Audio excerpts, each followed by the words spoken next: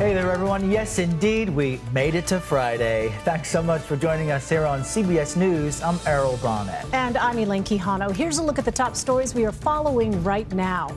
Hiring slowed somewhat over the last month, but not enough to ease Wall Street concerns. What these latest numbers mean for inflation, the economy, and your wallet. Russia's war in Ukraine could be on the verge of a critical turning point. Why President Biden says the risk of nuclear Armageddon, his words, is now at its highest level since the Cuban Missile Crisis. And Thailand is in mourning after a deadly rampage at a daycare center in the country's north. The latest on the investigation is grieving families prepare to lay the victims to rest. Also for you, the Georgia Senate race has now intensified as Republican nominee Herschel Walker faces fallout from the latest abortion controversy. Find out how he and his opponent, Raphael Warnock, responded on the campaign trail.